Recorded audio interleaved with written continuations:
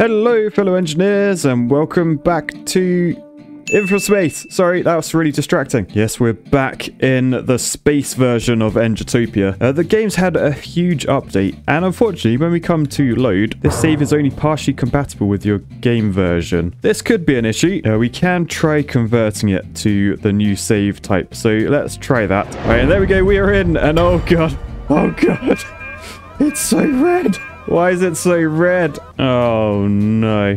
Oh dear.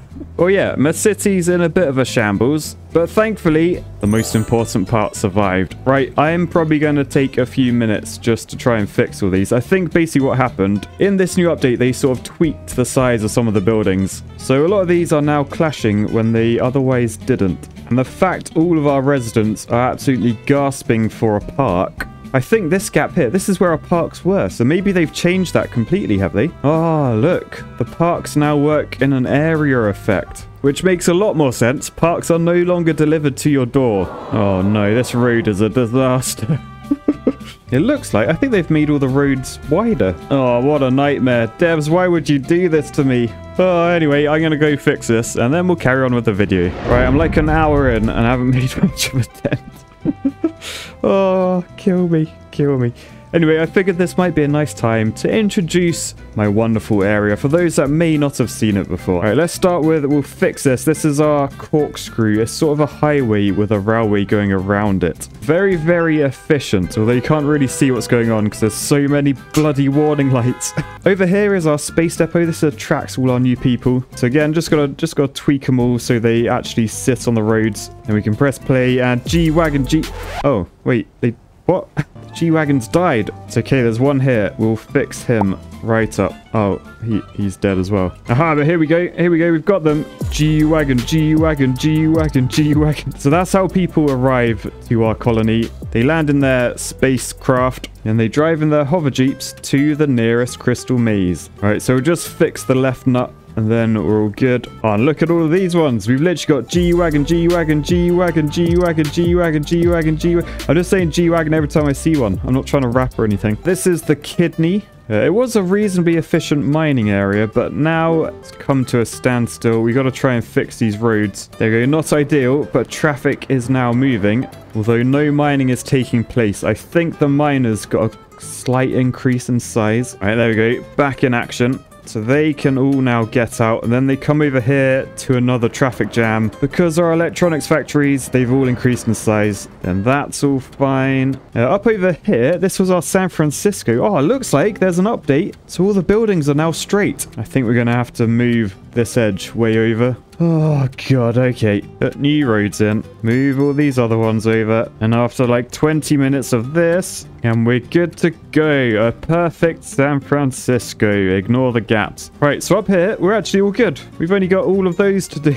Oh, no. Habitat downgraded. Downgrade. Oh, dear. Uh, it appears they have no food. That's because the food things have increased in size, so the road doesn't work. Right, let's pause. If anything, they've actually got smaller. Look, you can overlap up to the blue. So we'll squish these right in together. Okay, we're going to have a very small gap in our farms. Sorry, OCD people, again. But now I press play, all these green trucks, they're now leaving there, and they'll head over to all the hungry inhabitants, uh, of which I need to I need to fix them. So I think if I move that power pole, yeah, that's fine. Okay, I think a lot of these, the power poles have just slightly increased in size. But if you remember from before, we have unlocked the substation. So all we've got to do is get one in about there. And as long as we can connect him up, it should be fine. So we need to use a power pole to connect him. There you go. You can see the power sign disappearing. We do have this one we got to connect as well. So we're getting there. Although you can see all of our habitats are downgraded. These are all decent habitats now. Uh, I think that will be fixed once we've once we've sorted our production chains.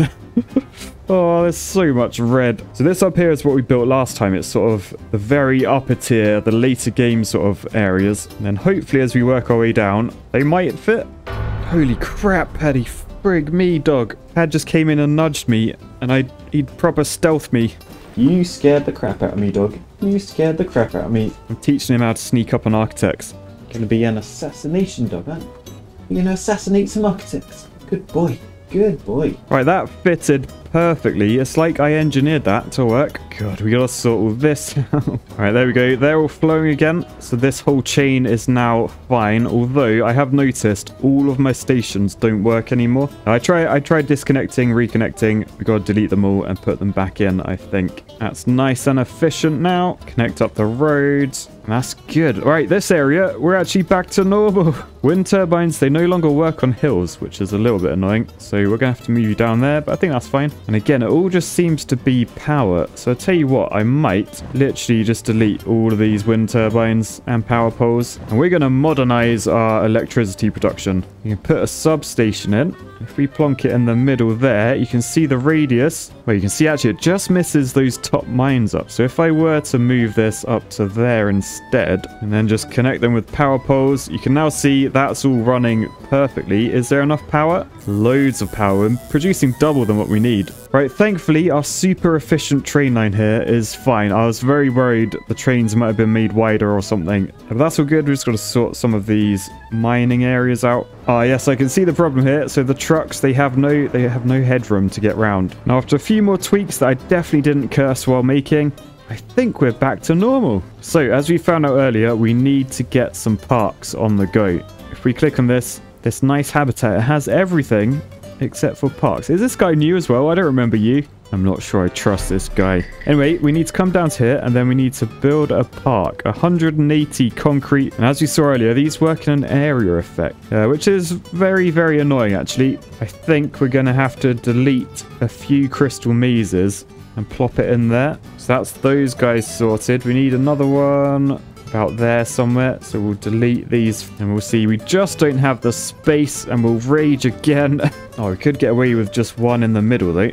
Oh, and look at all the upgrading. Everyone's upgrading. And let's see, does that fit in there? Nice. All right, sorted. Everyone's upgrading back to level 4, which is where we were at before. These guys, they need some iron. So where is the iron? Ah, oh, yes, the iron is... Yes, it's back. It's back, which means these guys should get their iron soon, which means no more warning lights anywhere, but what are these ones? Right, so this is literally where we left off last time. We're trying to create yellow science. Now, they're saying they're after some blueies, and some motors. And that's what we built over this way. The neural processor factory and the reason they're not being produced is there's no workers in building. God damn. So currently our immigration rate is low. That's because our average habitat level is lower than the required one. I forgot to build a train station here. And what I have noticed as well, look, can you see there's three different types of rails? You got a normal rail, you then have a high speed rail and a lightning rail. So we may have to try some of those out. Meanwhile, lots of habitats are upgraded to level 4.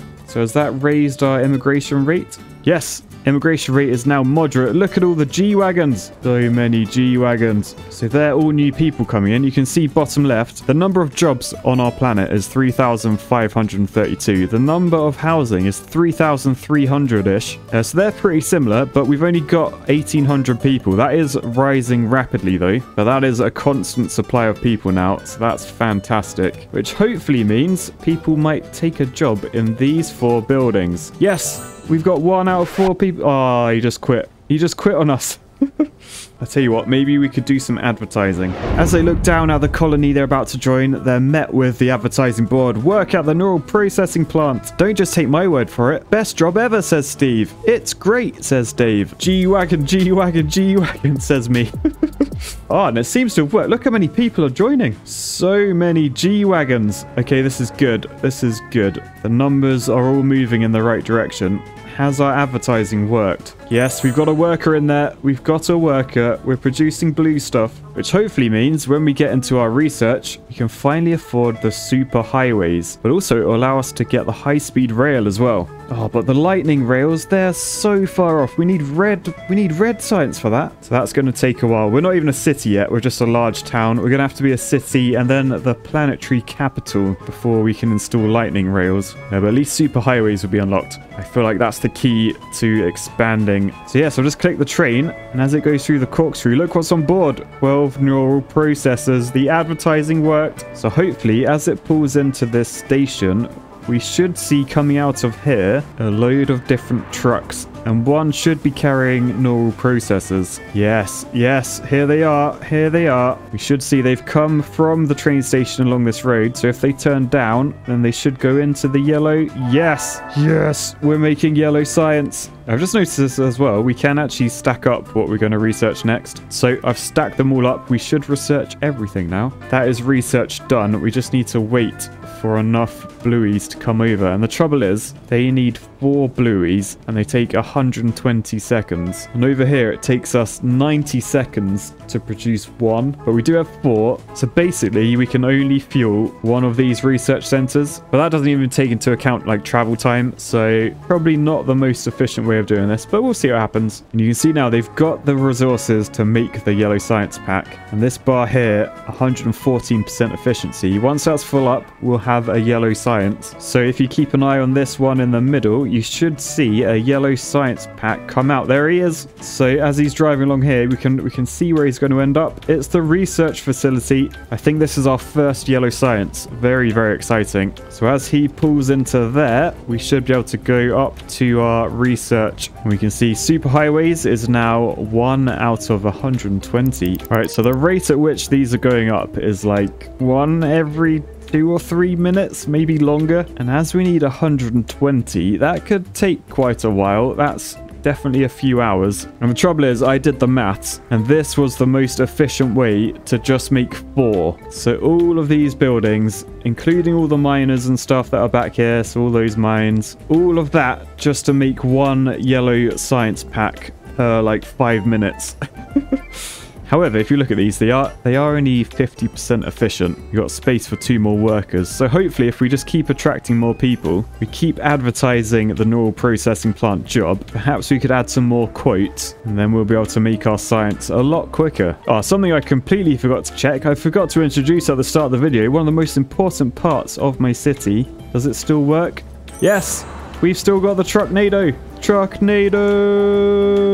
Right, you know what? I actually I quite like that these are all upright buildings now. Uh, they can look out the window. They can see the architect suck sign way in the distance. For now, I need to let this run and collect that yellow science. Right, so I've left this running a little bit. Check out all my houses. They're nearly all tier fours. There's only a few little piddly ones down here, but look, they're getting upgraded. And even better, if we head over here, check out the neural processor jobs four out of four, four out of four, four out of four, and four out of four. We're maxed out on the neural processors, and do you know why? Because we had a lot more reviews a lot more lovely reviews. So yeah, things are actually going fantastically. Like if you look down down here, look at our population, 3,100. It's getting there. It's, it's a lot better. We have space for 3,600, but we've only got 3,500 jobs. So finally, we have enough accommodation to do all of our jobs, which means we can expand once again. So I've got a couple of choices. Choice one, we can try and research faster, which means getting more of these blue things, which essentially means copying everything you can see on screen again, which honestly sounds like quite a bit of effort, unless it includes copying that. Although, having a look in the tech tree, maybe I should be researching this. Industrial robots Supply your factories with industrial robots to cut down the amount of workers required. Where was that an hour ago?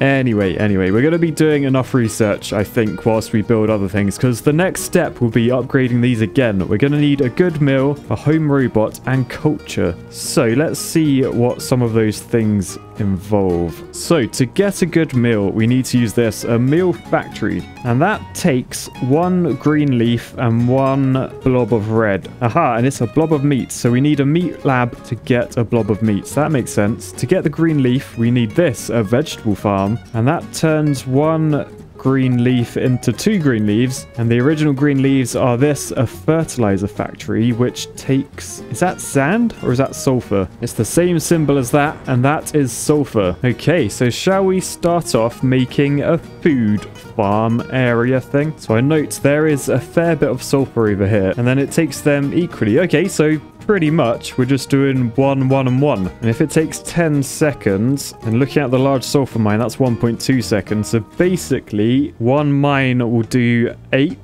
Yeah, one mine will do eight buildings roughly. So going around that, I don't think I want too many of these. Let's just start with two, and that would be 16 of all the buildings, I think. All right, so to start off, we have that. We need eight of these fertilizer factories down one side. Next up, we need these vegetable farms. So that takes one of those and turns it to two of those. If we're making six 15. We need a few. Blimey, they're quite they're quite large, these. What's actually going on in there? It's like, it's sort of like a huge field, a circular field with sprinklers, solar powered sprinklers. And I think we want 10 of these, if my maths is right. And then next up, meat labs. So I think we'll do 10 of these as well. And then finally, the meat factory, which turns both of those into the good food. All right, and then we just need a way to power these. So I think we'll just plonk some solar panels down. Right, so the sulfur is being mined by these huge machines. It looks like they're spraying it everywhere, but they're not. They're actually ending up in these hover trucks. And they're going to these farm sort of buildings where they're turned into fertilizer. And then the green trucks are the fertilizer trucks. So they come along here and then they enter these, which are vegetable farms, and that will grow us some veggies. And then they leave in the dark green trucks, and they head all the way along the roads, past these meat factories, which sort of, they sort of look like... Looks like a saxophone, like all the different buttons going off. How random that the silos just individually move up and down. Beef, beef, pork. Then they come to these, the food factories, where they're joined by the red meat trucks as well. And they create a damn good meal. And if we zoom out, we've done it in the shape of a cow to give people something to remember. Yes, that is the shape of a cow, by the way. It's as good as I could get to a cow, okay? Stop laughing. Stop laughing at me. But then we have loads of good meals and we need to transport them over to our buildings. And in particular, our residential buildings. So what's the best way of doing that? We could build a train. Yeah, shall we do that? Just a really simple train line. So when the food leaves the train station, it can go that way or it could go down this way as well. Yes, that's this arm done. And then I think over this one, we've got the threes coming to there and then we'll just do like a big old three and three lane going all the way through these. So now the oxygen from here, it's got it's got a new way to go. It can go along here. We may need to traffic light these because uh, there's quite a lot going on. Forgive me. Bloody hell, mate. Oh, that was horrible watching that. I literally clenched. And then with the train line, I don't want this connect to the other rail. So I'm literally just going to come out of here. Oh, I could just do that. I could just do that. There's me doing knobs everywhere. I thought this was the most efficient way to do the loops. Turns out I was mistaken. But yeah, we've got the cow connected up. I mean, it's it's not really a cow. It's, it's more of an elephant. But uh, it's all connected up. So what I've got to do is just do a very simple train line from here to over there. So we'll literally just go straight like that. Uh, but then we've got wind turbines in the way. So I guess we should dodge these a little bit. You can see where we got to get to, just over there, but that's not going to work. We've got red lines. So, over to there, that's sorted, and then we just need to do one back the other direction. And there we go, we've got enough steel, so we'll click that, and we're done. So we can just come up to this button, train lines, we can add a train line, and we're going to rename this one the scenic route. Then we're going to add quite a few trains, maybe 20. Then you can see the trains are leaving. You can also see all these trucks, all the good food. They're coming round the cow and they are delivering to the train. And then after a short scenic route through this... which was just to dodge the windmills, of course. We end up here, where our good food should hopefully be delivered to the residential buildings. And then when good meal is satisfied, we'll just need home robots and culture. Man, that is, that is beautiful. And I, I feel like, is anyone else seeing that? Strongest shape? Or is it just a dog?